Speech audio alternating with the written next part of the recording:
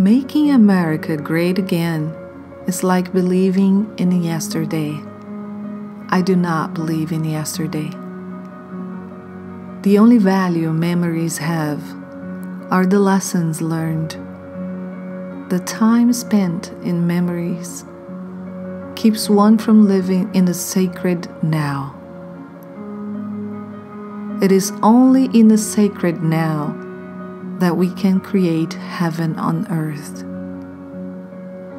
Instead of photographing the holy instant, we would do better living in it. Mindful meditation is living in the now.